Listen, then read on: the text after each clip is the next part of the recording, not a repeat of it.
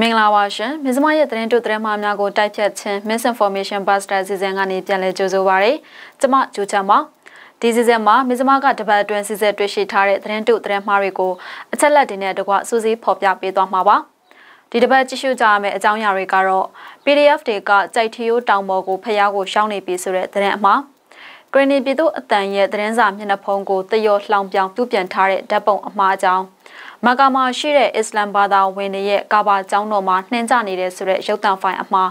စားတဲ့တပတ်အတွင်းမစ္စမကအချက်လက်စစ်ဆေးထားတဲ့သတင်းတို့သတင်းမှားတွေကိုစူးစီးတင်ဆက်ပေးသွားမှာပါရှင်။ PDF တွေကြိုက်ထီယိုတောင်ပေါ်ဖျားရှောင်းနေပြီဆိုတဲ့သတင်းမှားကိုအရင်ဆုံးကြည့်အောင်ပါ။ဒီတစ်ပတ်မှာပြည်သူ့ကာကွယ်ရေးတပ်ဖွဲ့ဝင် PDF တွေကကြိုက်ထီယိုဖျားတောင်ပေါ်ကိုရောက်ရှိနေပြီဆိုတဲ့သတင်းနဲ့အတူရုပ်သံဖိုင်တစ်ခုကလူမှုကွန်ရက်မှာတော်တော်လေးပြန့်နှံ့ခဲ့ပါတယ်။ ဆိုင်းနောင်ခမ်ဆိုတဲ့ Facebook ကောက်ကနေနိုဝင်ဘာ12ရက်နေ့မှာကြိုက်ထီယိုတောင်ပေါ်သို့ရောက်ရှိဆိုတဲ့စာနဲ့အတူရုပ်သံဖိုင်တစ်ခုကိုဖြန့်ဝေထားပါတယ်။ရုပ်သံဖိုင်ထဲမှာတော့ကြိုက်ထီယိုပုံစံစေဒီတစုကို PDF တပ်ဖွဲ့ဝင်တွေဖူးမြော်နေတာတွေပါဝင်ပါတယ်။တရုတ်တန်ဖိုင်ဟာလူမှုကွန်ရက်မှာအလျင်မြန်ပြန့်နှံ့သွားပြီးတော့၃ရက်အတွင်းမှာကြည့်ရှုသူတသန်းကျော်သွားပါတယ်။ကြိုက်ထီယိုရောက်နေတာကိုနေရာမဖော်ပြသင့်ဘူးလို့မှတ်ချက်ပေးကြတာတွေရှိသလိုကြိုက်ထီယိုဖျားရောက်ရှိနေကြောင်းပုံစံအမျိုးမျိုးနဲ့ရေးသားဖြန့်ဝေမှုတွေလည်းရှိနေပါတယ်။ မဇမကနေဒီရုပ်တံဖိုင်ကိုအချက်လက်စစ်ဆေးခဲ့တာမှာရုပ်တံတက်မှာပါတဲ့ကြိုက်ထီယိုဇေဒီဟာအမှန်တကယ်ကြိုက်ထီယိုတောင်ပေါ်ကဇေဒီမဟုတ်ပဲပုံစံတူဇေဒီတစုဖြစ်နေတာကိုတွေ့ရပါတယ်။ကြိုက်တီယိုဖျားကိုစွန်းလှူရင်းနဲ့အတူဗီဒီယိုဓာတ်ရိုက်ထုတ်လွှင့်လင်းရှိတဲ့ Facebook အကောင့်တစ်ခုကနေဖော်ပြထားတဲ့ဓာတ်ရိုက်ထုတ်လွှင့်မှုလုပ်ထားတဲ့ဗီဒီယိုတွေနဲ့ရှင်းကြည့်ခဲ့ပါတယ်။နိုဝင်ဘာ17ရက်နေ့ညထုတ်လွှင့်ခဲ့တဲ့ဓာတ်ရိုက်ဗီဒီယိုအရကြိုက်တီယိုတောင်ပေါ်ကဇေဒီအောက်ထည်မှာအလှူခံပုံရှိမနေတာကိုတွေ့ရပါတယ်။ နောက်ပြီးတော့ကြောက်တုံးရဲ့အယောင်ဟာလည်းရွှေသင်္ကန်းကတ်လှူထားတာကြောင့်ရွှေရောင်တွေကဝင်းလက်နေတာပါ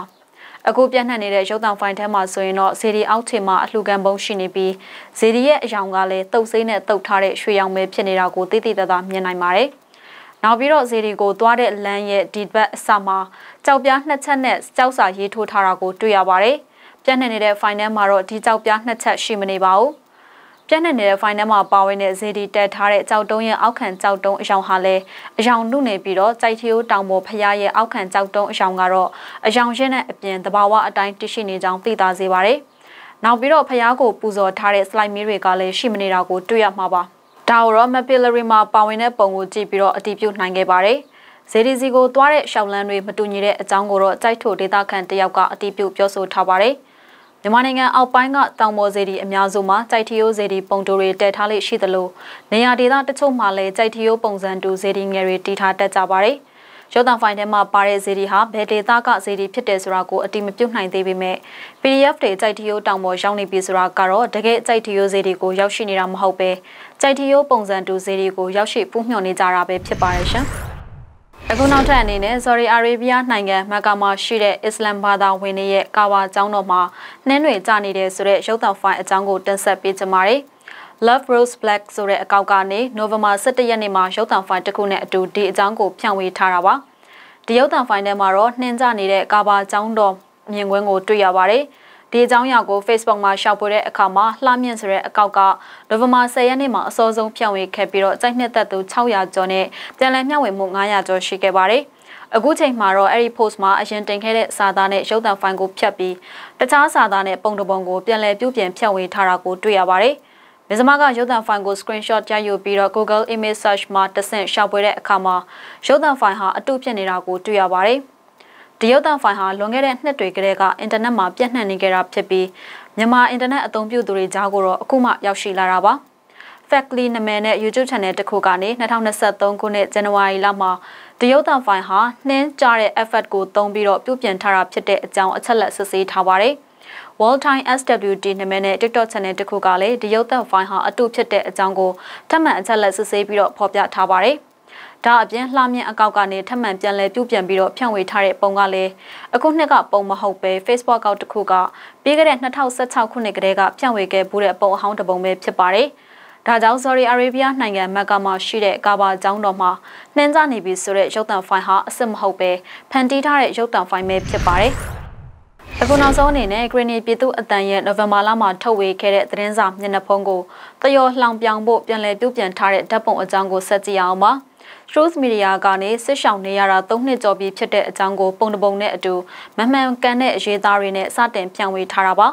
ဒီအကြောင်းအရာကိုကြည့်ရှုသူ1100ကျော်ရှိနေပြီဖြစ်တယ်လို့တခြား Telegram Channel တွေမှာလည်းဖြန့်ဝေထားပါတယ်။ဖြန့်ဝေထားတဲ့ပုံမှာပါတဲ့စကားလုံးတစ်ခုဖြစ်တဲ့ Granny People Voice ဆိုတဲ့စာသားနဲ့ Facebook မှာရှာဖွေတဲ့အခါမှာ seminar တစ်ခုကိုတွေ့ရပါတယ်။ဒီစာမျက်နှာဟာ Granny ပြည်နယ်ကတိုက်ပွဲတွေအပြင်တခြားသောအကြောင်းအရာတွေကိုသတင်းရေးသားဖော်ပြနေတဲ့ seminar ဖြစ်ပါတယ်။ ဒီစာမျက်နှာကနေဂရနီလူထုအတန်သည်လူထုသတင်းရရှိရေးအတွက်အလေးထားလှုပ်ဆောင်လျက်ရှိပြီးတော့ကနဦးခြေလန်းအနေနဲ့အတွက်တက်အမှတ်တက်သတင်းစာဆောင်ကိုဒီကနေ့နိုဝင်ဘာ6ရက်နေ့မှာအခမဲ့စတင်ဖြန့်ဝေနေပါပြီလို့ရေးသားပြီးတော့ပုံတပုံကိုဖြန့်ဝေထားပါတယ်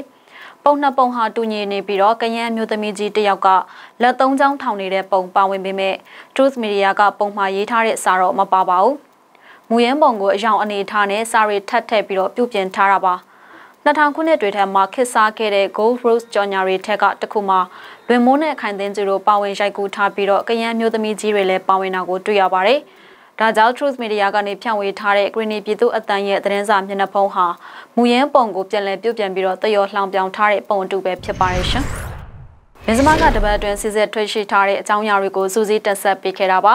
ပရိသတ်တွေအနေနဲ့သတင်းတို့သတင်းမှားတွေစစ်ဆေးစေခြင်းတဲ့သတင်းတွေတန်တရားရှိတဲ့အကြောင်းအရာတွေကိုတွေးကြရင်လည်းကျမတို့ရဲ့ချက်လက်စစ်ဆေးသူတွေစီကိုဒီလင်လေးကတက်ဆင်ပေးပို့ကြဖို့ဖိတ်ခေါ်ပါရစေဒီစီစဉ်ကိုကျမကျူချန်ကတင်ဆက်ပေးခဲ့တာပါကြည့်ရှုအားပေးခဲ့ကြတဲ့ပရိသတ်တွေအားလုံးကိုကျေးဇူးအထူးပဲတင်ရှိပါရစေမင်္ဂလာရှိတဲ့အနေလေးပိုင်ဆိုင်ကြပါစေရှင်လွတ်သောမီဒီယာဖြင့်ဆက်လက်ရပ်တည်နိုင် ဖို့ပြည်သက်တွေထောက်ပံ့ပေးမှုဟာအကြီးမားဆုံးလိုအပ်ချက်ဖြစ်တာကြောင့်မြစီမ TV YouTube Channel မှာမမဝေပေးခြင်းဖြင့်ကူညီနိုင်ကြောင်းလည်းအသိပေးဖိတ်ခေါ်လိုက်ပါရစေ။